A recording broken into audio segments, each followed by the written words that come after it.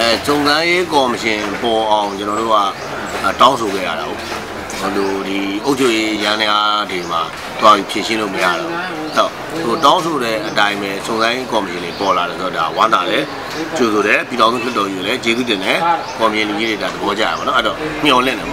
ဟုတ်ပြီအဲနောက်ကစုံစမ်းရေးကော်မရှင်အနေနဲ့ဘာတွေကိုလေးနဲ့သိစေချင်တယ်အဲသူကနည်းနည်းနည်းနည်းတဲ့ရှုပ်ထွေးတယ်တေချာကြည့်တော့လည်းရှင်းတယ်ရှင်းတယ်ဆိုတာ လောအဲ့ဒီဟိုပါဗောလေတောင်းနေသမားတွေကနစ်နာတစ်ကနစ်နာတယ်မနစ်နာဘူးနှစ်ကအဲ့လိုနစ်နာမှုတွေဒီဥပဒေကြောင်းအရဘောင်းဝင်တယ်မဝင်ဘူးသုံးကဥပဒေကြောင်းအရလုံမယ်ဆိုရင်လို့ရှိရင်လည်းအတိအကျတွေလုံမယ်ဆိုရင်လုပ်ငန်းရှင်တွေဘက်ကလည်းနစ်နာနိုင်တယ်လုပ်ငန်းရှင်တွေလည်းပြန်ခဲ့ရမယ်အဲ့တော့နံပါတ်၄ချက်ကတော့အဲ့ဒါဆိုလို့ရှိရင်ဂျားထဲမှာလုပ်ငန်းရှင်တွေနဲ့လယ်သမားတွေဂျားထဲမှာမျှကြီးတခုဖန်တီးလို့ရသလားဆိုတော့ရတယ် နော်အဲ့ဒီအချက်လက်တွေကိုစုံစမ်းကော်မရှင်တွေသိဖို့လိုတယ်အဲသိရမယ်ဆိုလို့ရှိရင်လောတွေကိုသူတို့ကျွန်တော်ထောက်ပြနေတာအဲ့ဒီဖြစ်စဉ်တွေဖြစ်ခဲ့တဲ့ခုနှစ်ကတော့အဲ့ဒီကာလမှာဖြစ်ခဲ့တဲ့လောတွေက1953ခုနှစ်လေယာဉ်နိုင်ငံမှာပြည်လို့ဥပဒေကြည်ပါ1963ခုနှစ်တည်သားကြတဲ့ဥပဒေကြည်ပါနောက်ထပ်ထွက်တဲ့လောက2011ခုနှစ်မှာ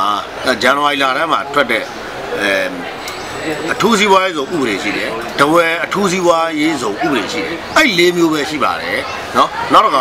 ဒီအဲအိုးရင်ကနေပြီးတော့အဲစီမင်းစည်းကမ်းတွေနဲ့စက်မှုတွေအကောင့်တွေပေါ်တဲ့အခါမှာအိုးရင်စီမင်းစည်းကမ်းတွေရှိပါတယ်။အဲ့တော့လောတွေနဲ့ကြည့်အဲ့ဒီလောတွေနဲ့စနစ်တကျကြည့်မယ်ဆိုရင်အလဲသမားတွေတင်းစင်ကာလာတော့ကဒီလောတွေနဲ့မညီတော့တွေ့ပါလိမ့်မယ်။ နော်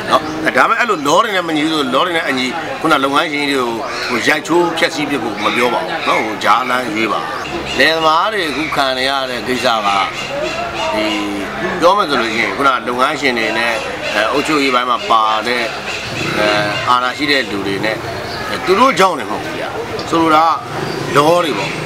1950လုံး60လုံးအဲ့ဒီလောတွေက လယ်သမားတွေကိုအလွန်ကျွံကာကွယ်ပေးထားတယ်အလွန်ကျွံကာကွယ်ခြင်းဒီဆိုရှယ်လစ်ကွန်မြူနစ်လက်ဝဲအခြေခံစိတ်တွေနဲ့53ဆိုဆိုရှယ်လစ်နိုင်ငံမှာပေါ်တယ်ကျွန်တော်တို့ကအဲ53လောက်မှာတဲ့လူတွေကဆိုရှယ်လစ်ကွန်မြူနစ်လို့ခေါ်တယ်လက်ဝဲအခြေခံစိတ်နဲ့ပြဋ္ဌာန်းတဲ့ဥပဒေတွေဒီအလွန်ကျွံကာကွယ်ပေးထားတာဖြစ်တယ်ဘယ်သူမှမလုပ်နိုင်မယ်မလွဲမသွေနိုင်ငံတော်ဘက်ကချိုးပေါက်တာလို့လုပ်ငန်းရှင်တွေဘက်ကချိုးပေါက်တာလို့အဲအဲ့ဒီဥပဒေတွေနဲ့ဘောင်ဝင်မနဲ့အလုပ်လုပ်ရတာလို့ဖြစ်ပြီးတော့လုပ်ငန်းရှင်တွေရောအဲဒီကအုပ်ချုပ်ရေးကြမ်းတွေကမှပါတဲ့လူရောလယ်သမားတွေရောဟာတားကောင်ဖြစ်တာเนาะအဲ့ဒီ ီဟာတွေအဲ့လောကိုပြင်ပြီးသွားပြီခုက2017လေယာဉ်ဥပဒေဆိုထွက်ပြီးအဲ့တော့နောင်ပိုင်းမှာအခုလယ်သမားရေးလှုပ်ရှားဆောင်ရတဲ့လူတွေကလည်းတော်တော်များများလေးအဲပြောနိုင်ဆိုတိုင်းလာပြီအဲ့နောက်ပိုင်းမှာရှေ့လျှောက်လယ်သမားတွေမှာအဲ့ဒီဒုက္ခတွေတော်တော်ကျင်းသွားမှဖြစ်ပါတယ်အဲအရင်အနာဟောင်းတွေကိုကုတဲ့အခါမှာတော့ပြပိသားအနာဖြစ်တဲ့အတွက်ခင်ဗျားတို့ဒီအနာရဲ့ဆိုးကျိုးတွေမြင်နေကြနေရအောင်